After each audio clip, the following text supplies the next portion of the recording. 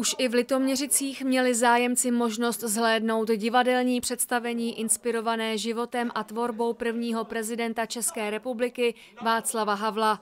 Autorský projekt Miloše Orsona Štědroně, nazvaný Velvet Havel, do divadla Karla Hinka Máchy přivezlo Pražské divadlo na Zábradlí.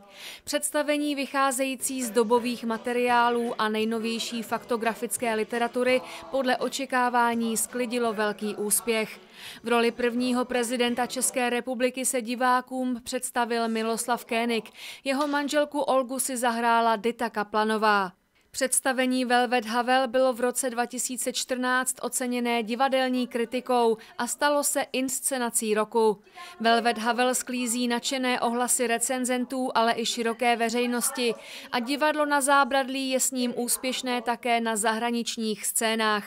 V roce 2015 představení viděli například v Polsku a v Německu. Podle Miloše Orsona Štědroně Velvet Havel není jen o Václavu Havlovi.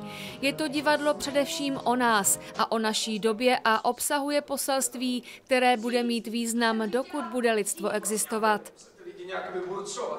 Nejlepší bude pro začátek něco sepsat, nějaký manifest, třeba ty budeš nosit něco jiného. Z Německa, baby, tohle se fakt nedá rozepnout, promiň. Ty víš, já vždycky budu Možná bude stačit dopis, otevřený dopis někomu nahoře. Ministrovi! No ví, to by bylo něco. Ne, ministr je málo, jenom figurka v režimu rovnou prezidentovi!